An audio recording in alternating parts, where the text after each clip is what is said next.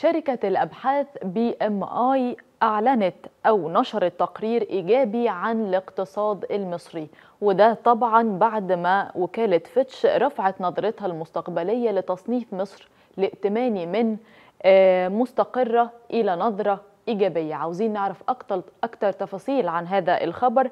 معنا دلوقتي على التليفون دكتور ريم عصام بدير مدرس الاقتصاد بكلية التجارة جامعة القاهرة. صباح الخير يا دكتور دايما منورانا في صباح مين؟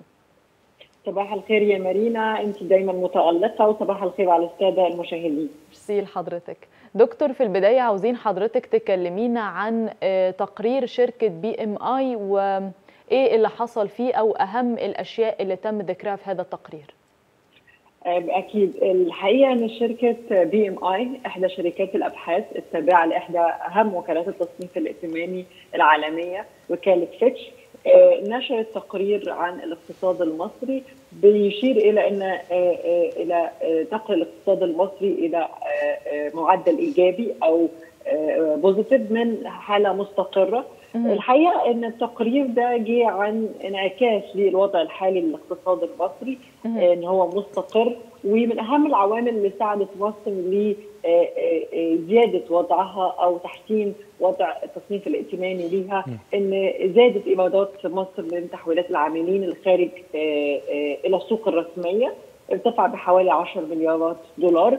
وأيضا وفقا للتقرير ايرادات مصر من السياحة هترتفع بحوالي 6% في السنة المقبلة المالية المقبلة 2024 2025 بالاضافه إلى ان ورد في التقرير انحسار عجز ميزان المعاملات الجارية المصري إلى 4.1 من عشرة بنفس السنة وأيضا مع انخفاض في ملحوظ في إيرادات قناة السويس للاوضاع الغير مستقرة في البحر الأحمر كل العوامل دي أدت إلى زيادة التصنيف الائتماني لمصر بالإضافة إلى تراجع مخاطر التمويل الخارجي على المدى القريب بسبب طبعا إن مصر ليها تتبنى حزم الإجراءات الاقتصادية اللي اتخذتها الدولة لتمويل الدين الخارجي والأقساط والفوائد بالإضافة طبعا إلى صفقة القرن صفقة رأس الحكمة مع دولة الإمارات.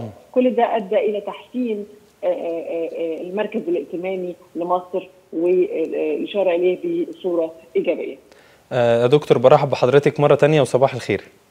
أهلا يا أندرو صباح الخير أهلا بحضرتك يا فندم حضرتك أشرتي إلى الإجراءات الاقتصادية اللي اتخذتها مصر لتحسين الأوضاع الاقتصادية وتحسين المسار الاقتصادي ممكن حضرتك توضح لنا أبرز الإجراءات الاقتصادية اللي اتخذتها مصر في الفترات اللي فاتت أكيد الحقيقة الاقتصاد المصري نجح في تغيير رؤية المؤسسات الدولية. الحقيقة وكمان إن الحكومة الاقتصادية في مصر تتبنى سياسة إصلاح اقتصادي من 2016 تبنتها على ثلاث مراحل من العمل والبناء والإصلاح.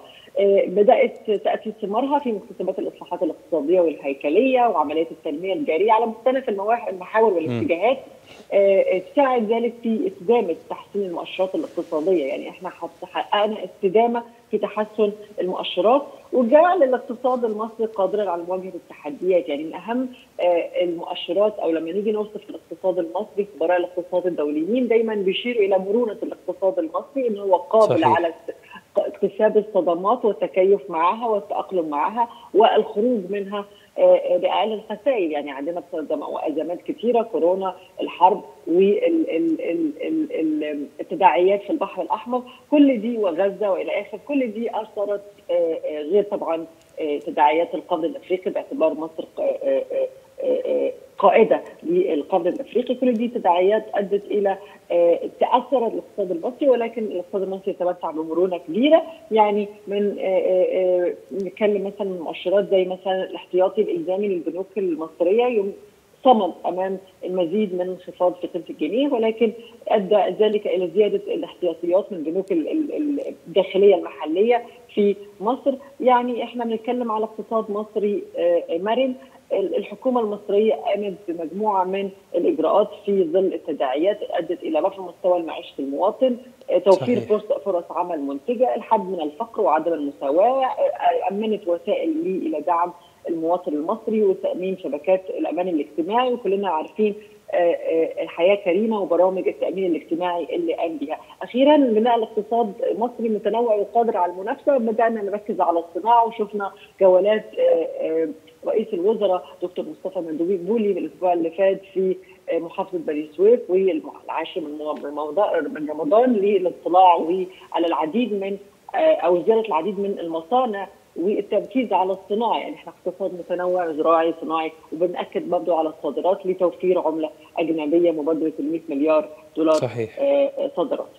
طب دكتور ريم الست شهور اللي فاتوا الاحتياطي النقدي فيهم شهد قفزة كبيرة يمكن وصل لاكثر من 40 مليار دولار فحضرتك شايفة تأثير ده إيه على الاقتصاد المصري في الفترة اللي جاية وممكن الاحتياطي النقدي الفترة اللي جاية يكتر أو لأ؟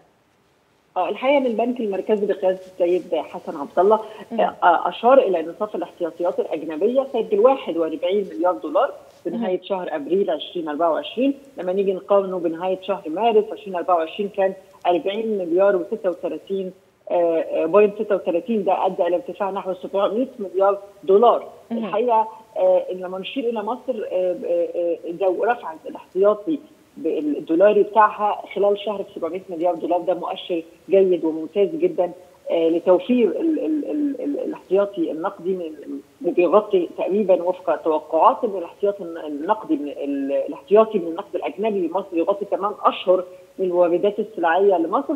ويعني المؤشر العالمي أو المتوسط العالمي إن أنت تحتفظ باحتياطي يغطيك أو يأمنك لثلاث شهور اهدي ثلاث شهور قدام. لا إحنا عندنا ثمان شهور من معدلات إن إحنا عندنا احتياطي نقدي لمدة ثمان شهور قدام. ده الحقيقة إن العملات الأجنبية بالاحتياطي الأجنبي من يعني سلة المعاملات الأجنبية سواء من الدولار أو اليورو أو الجنيه الاسترليني أو الين الياباني اليوان الصيني دي نسبة احتياطي اللي وصل لأكثر من 40 و36 عفوا 41 مليار دولار. ده مؤشر ممتاز أو ده دليل على زيادة قدرة القطاع المصرفي في مصر على توفير العملة الأجنبية وزيادة الاحتياطي من النقد الأجنبي بمكوناته بقى الذهب والعملات الدولية.